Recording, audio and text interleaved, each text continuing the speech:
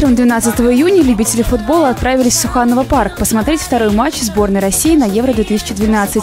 Посетители участвовали в предложенных организаторами конкурсах и розыгрышах и высказывали свои ожидания от матча. Я лично думаю, что мы выиграем, и по-любому мы выиграем.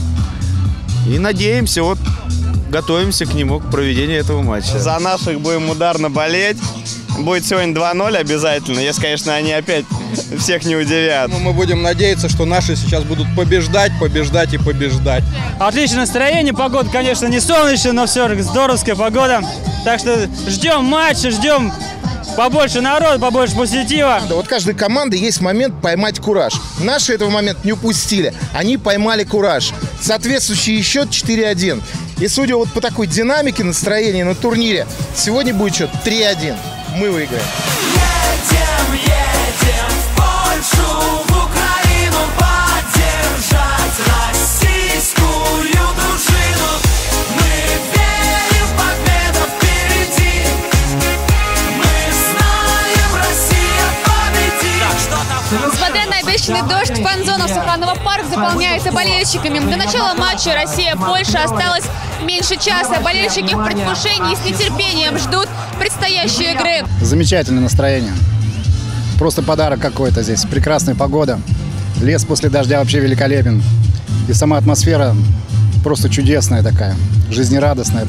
Я считаю, по максимуму, по максимуму организовали это, вип нашу зону. Больше всего времени я уделил вон тому шару огроменному, где, куда надо мячи пулять. Мне очень нравится атмосфера, как здесь все уютно, прям вот чиллаут. Все очень хорошо, приятно, комфортно, свежий воздух, приятные люди. Вот это мне нравится. Я вообще считаю, что они молодцы. И все мероприятия, которые они делают, просто, я считаю, на ура проходят. Здесь все так со вкусом, грамотно подобрано. Люди сразу окунаются в такую атмосферу, которая позволяет чувствовать себя внутри вот этого вот позитива, который тут источается из каждой вот частички. У меня очень позитивное настроение, очень великолепный праздник. Вообще очень много позитива, море пива. После каждого матча специалисты анализируют и оценивают выступления футболистов. Мы, в свою очередь, решили провести опрос среди жителей и выяснить, кого сухановцы считают лучшим игроком сборной России. Пусть будет это Аршавин. Как бы традиционно так. После Пеле, да, можно сказать, что Аршавин это хороший игрок. Ну, думаю, вратарь очень хорошо вообще действует. Он реагирует на удары хорошо. Пока тот момент, когда сложно кого-то выделить, эта команда выполняет тренерскую установку. Говорят, я похож на Загоева, поэтому Загоев пусть будет лучший. Загоев. Почему именно Загоев? Но он молодой, его еще не знают, он темная лошадка нашей сборной. Их очень много, они все по-своему индивидуально талантливые, но Киржаков сегодня должен забить. Все ребята молодцы, но мне кажется, Аршавин. Он сейчас на пике своей карьеры. Ну, у всех на слуху Аршавин. Аршавин. Почему? А я кроме него больше не знаю никого. Павлюченко. Аршавин. Они все хорошие. Мы не будем никого выделять, пусть они все дружно побеждают. Не знаю, они там все хороши. Павлюченко. Почему он? Ну, потому что он забивает хорошие голы, очень э, думающий футболист. Аршавин, наверное. Ну, наверное, Аршавин самый подающий надежды.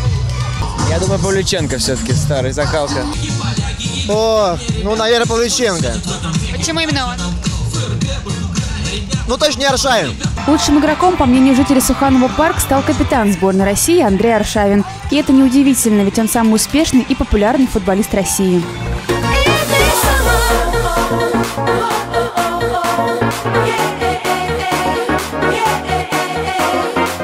Организаторы подготовили для посетителей фан-зоны много приятных сюрпризов. Одним из них стал звонок Андрею Хворову в Польшу перед самым началом матча.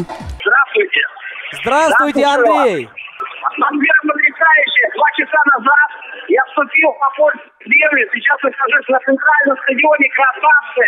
Потрясающая обстановка. А, стадион полностью забит. Большое количество наших болельщиков. Мы ждем потрясающий футбол. И надеюсь, уверен, что обязательно победа придет к нашей сборной. Фан-зону Суханова парк с праздником. Днем России.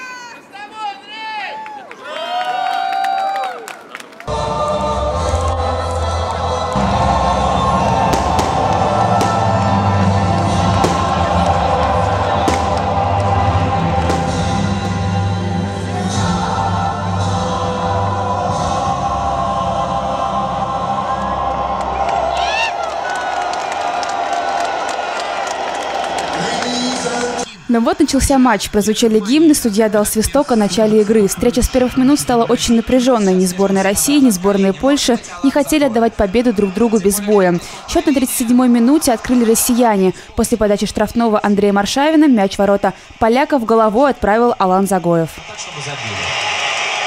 Очень бы хотелось.